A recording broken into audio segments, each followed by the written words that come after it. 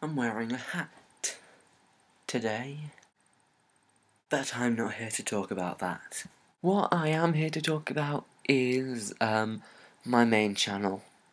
I'm not going to be using that for a while. Like I said, this is just going to be a short update video on what's going on. I'm doing uh, something which I'm calling the 10 sketch sessions, which is my way of motivating myself to actually make videos. So what I'm going to do is write 10 sketches and film them when they are ready to be filmed.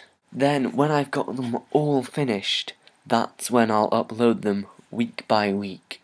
In the 10 weeks that it takes to upload them, I will be writing another 10 sketches. Hopefully that'll keep going, and there will be a bit of a gap between the last 10th one and the next first one. Don't worry, I'm not doing maths anymore, so, so it doesn't matter if I got that wrong. I think so far I've got two sketches ready for filming. I have got other sketches planned to film, but I don't feel they've been written well enough yet. So I'll be hopefully filming those two very soon. I am looking forward to that, if it goes ahead. Just to let you know, that's what's happening on Random Jot.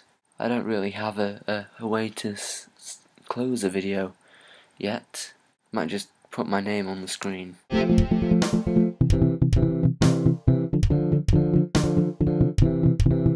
If you enjoyed this video, why don't you go ahead and subscribe or, or just like it or comment and if you really enjoyed it uh, you could even follow me on Twitter if you want to.